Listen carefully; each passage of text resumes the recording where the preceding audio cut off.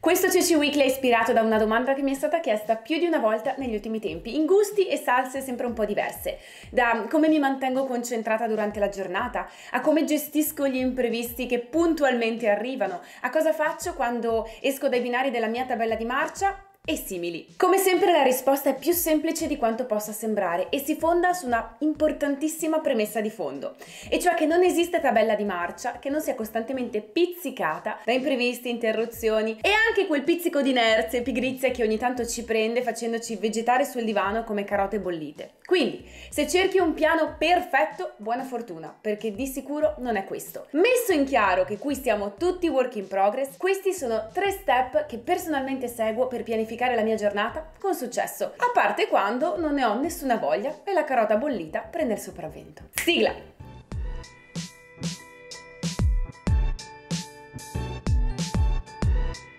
Step numero 1. Scelgo i miei strumenti. Ora, gli strumenti per gestire il proprio tempo si sprecano. Abbiamo app, tools di time management super super sofisticati e poi abbiamo strumenti semplici e altrettanto efficaci. Personalmente ne uso soltanto due e sono davvero semplici. Uno è I Done This per una panoramica delle cose da fare durante la giornata e poi c'è Google Calendar, il secondo, dove programmo gli archi temporali più precisi in cui farò una certa cosa. I Done This è un tool gratuito di cui troverai il link qui sotto al video ed è estremamente semplice, forse anche troppo, ma l'ho scelto soprattutto per questo. Non ha troppe funzioni che alla fin fine invece di semplificarmi la giornata finiscono puntualmente per complicarmela ancora di più e per farmi sprecare molto più tempo prezioso. Di sicuro e qui ci metto la mano sul fuoco, esistono strumenti più interessanti e sofisticati là fuori, ma non fanno per me. Lo step numero 2. Creo un piano giornaliero solitamente suddiviso nelle seguenti parti. Ta-da-dan. Primo, tre blocchi di tempo ininterrotti da distribuire nell'arco di tutta la giornata,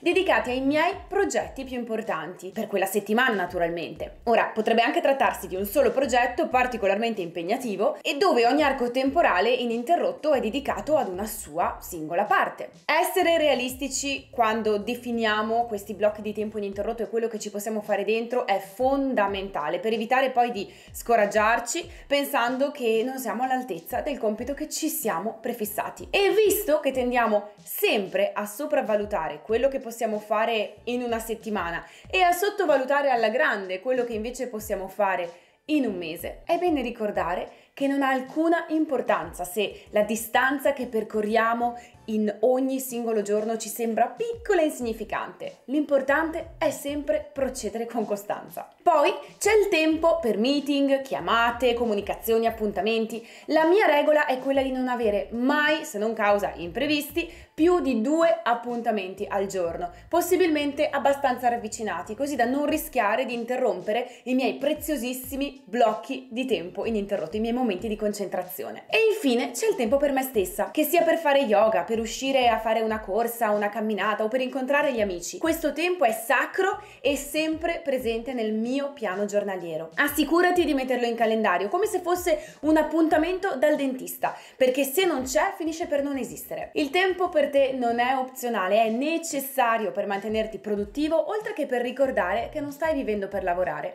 ma stai lavorando per vivere. Siamo arrivati allo step numero 3. Programmo gli archi di tempo dedicati a ciascuna attività in calendario. Per farlo invece che chiedermi quanto tempo qualcosa richiederà e poi definire il blocco di tempo nel mio Google Calendar, provo a fare il contrario e a chiedermi quanto tempo io voglio investirci. Questo piccolo cambio di prospettiva aiuta a mantenermi molto più efficiente, a fare di più in meno tempo e a restare più focalizzata solo sulle mie priorità. Ora, quando segui questo processo, lascia sempre un po' di buffer time, quindi di tempo cuscinetto per eventuali imprevisti, perché ci saranno sicuramente e di varie entità e natura a seconda della giornata. Quindi, tanto vale fare pace con l'idea e creare loro un po' di spazio premeditato. La chiave per una giornata di successo in fondo è essere preparati e flessibili allo stesso tempo. Le circostanze possono cambiare quello che è importante. In parole semplici, quello che poteva sembrare importantissimo la settimana scorsa potrebbe esserlo ancora oggi oppure no. Mantieni un approccio aperto al cambiamento e il cambiamento non sarà più un problema. Come sempre la parte più bella del video comincia ora, qui sotto. Fammi sapere nello spazio dedicato ai commenti quale approccio segui per mantenerti focalizzato durante la tua giornata. Condividilo nei commenti qui sotto. Mi raccomando non essere timido perché lo sai, te lo dico sempre e lo dico sempre a me stessa, il modo migliore per crescere è farlo insieme. Ti aspetto qui sotto, non essere timido. Ti è piaciuto questo video? Allora non dimenticare di iscriverti al canale e di condividerlo con tutti i tuoi amici. E se sei alla ricerca di ulteriori risorse per migliorare la tua vita, non aspettare un secondo di più e vieni a trovarmi su ceciliasardeo.it per accedere ad ulteriori strumenti pratici che condivido solo via mail. Fino al prossimo episodio, un grandissimo abbraccio di luce.